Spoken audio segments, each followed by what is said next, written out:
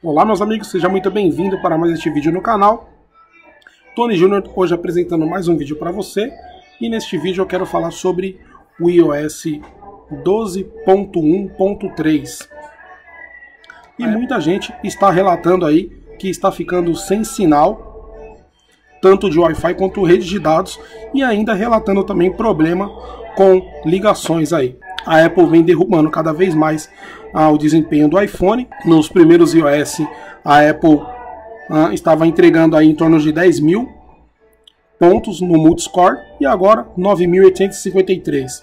Sobre bateria, ainda é muito cedo para falar, mas ah, já adianto que é muito relativo, pois, por exemplo, eu utilizo aqui em torno de 237 aplicativos e cada usuário é, utiliza o seu iPhone de uma forma, certo?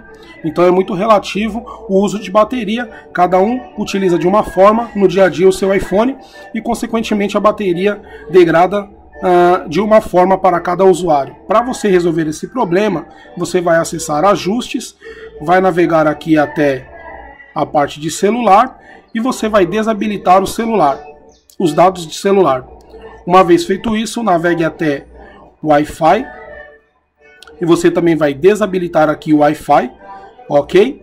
E por último, acessando aqui também ajustes, geral, redefinir, você vai realizar uma redefinição dos ajustes de rede, certo? Ele vai pedir para você digitar o seu código. Uma vez efetuado esse procedimento, pode ficar tranquilo que não vai dar problema. Ele vai redefinir os ajustes de rede.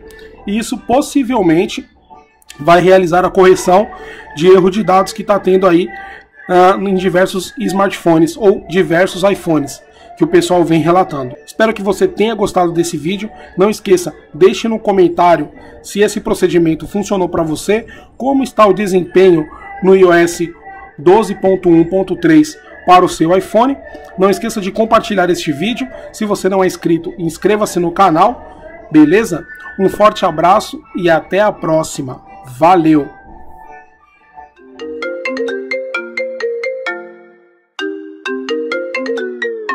I'm sorry, I'll try harder. My pleasure. My pleasure.